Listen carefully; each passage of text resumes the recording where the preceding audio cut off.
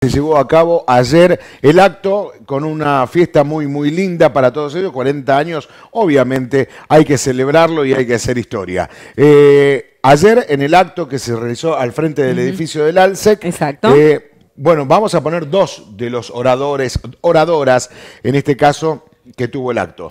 Claro que sí, porque mm, eh, quienes fueron sus miembros fundadores eh, han estado ahí, eh, Ileana en primera fila sobre todo, eh, acompañada por su familia.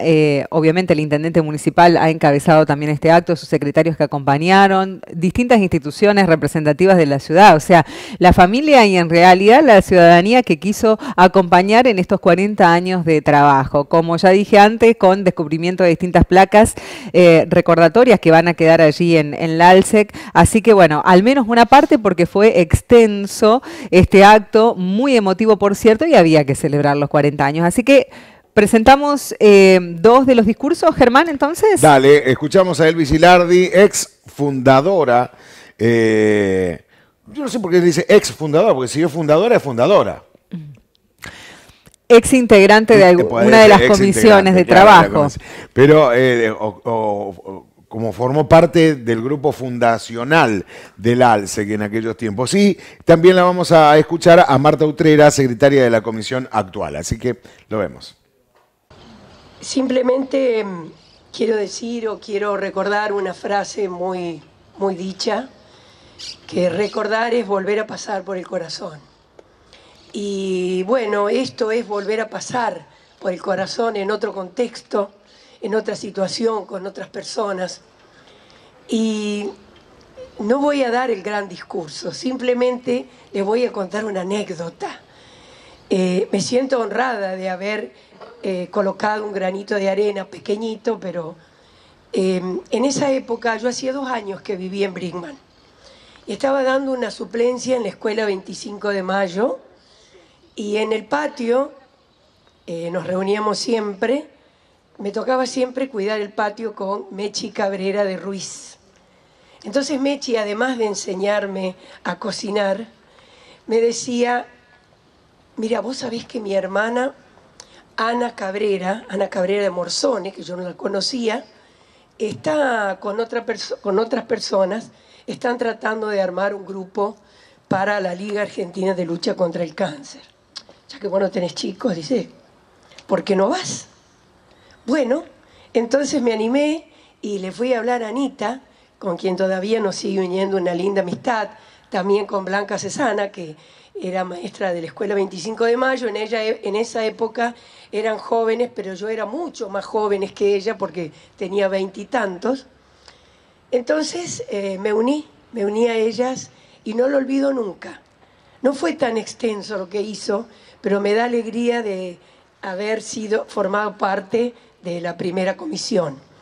Y una comisión que es, eh, eh, es un apostolado. Yo realmente la felicito a la gente que aún continúa eh, en esto de salvar vidas, de hacer algo por la vida del más necesitado.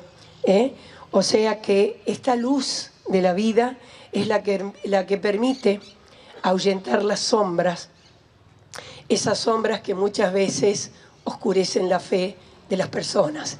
Y simplemente voy a dejar algo de lo que creo que sé hacer, que es un poema, para después regalárselos a las a luz de vida actual. La luz de la vida. Vivir es algo así como andar trepando una cornisa, donde lo cruel y lo fantástico libran batallas cotidianas. Es algo así como andar con desparpajo hasta que alguna estrella encandila la senda y hay que retroceder, mirar hacia adentro, observar el entorno y seguir andando con las estrías sobre el edén de lo vivido. Vivir significa apropiarse de esas lunas impetuosas y de las que anuncian la lluvia y el mal tiempo, pero vivir a la luz de la vida.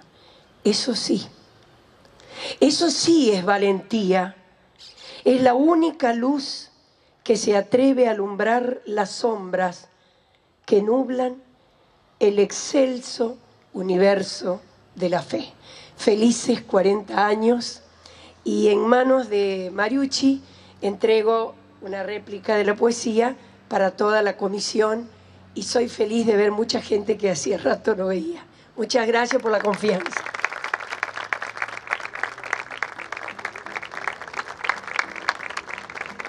Hoy nuestra institución, en el marco del 40 aniversario, quiere darles la más cordial bienvenida a todos y cada uno de ustedes y agradecerles por haber respondido a nuestra convocatoria.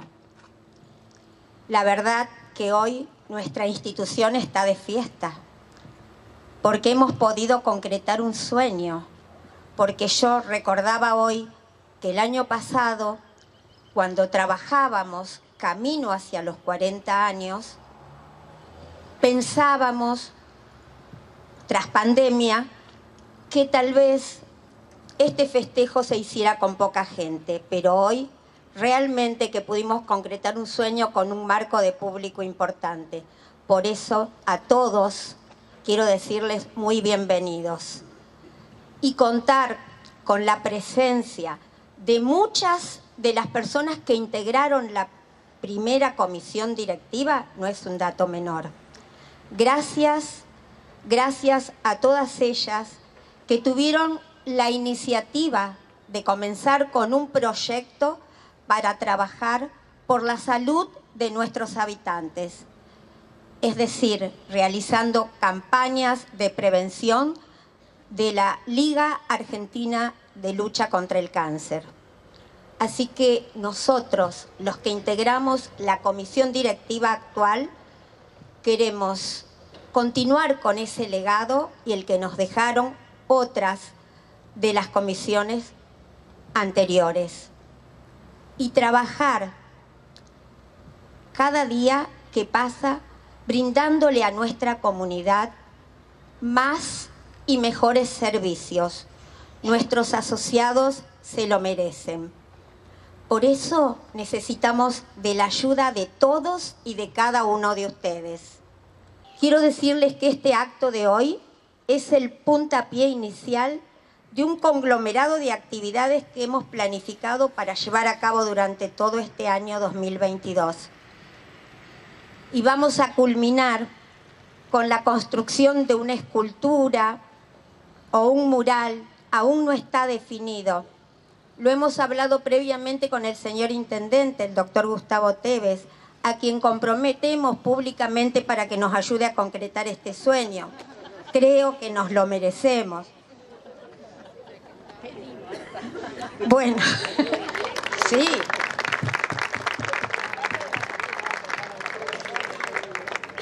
Esa construcción se realizará en la plazoleta de la salud en el acceso este.